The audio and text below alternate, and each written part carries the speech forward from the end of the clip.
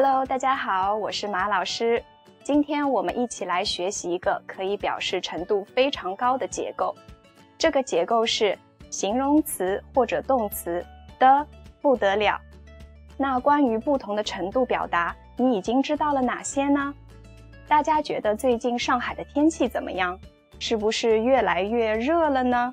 如果之后的气温到了三十度，我们可以说今天有点热。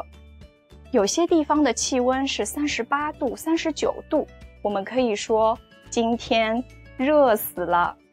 在这个情况下，我们也可以说今天热得不得了。你觉得樱花漂亮吗？我觉得樱花漂亮的不得了。你喜欢樱花吗？我喜欢的不得了。你学会了吗？我们下次再见，拜拜。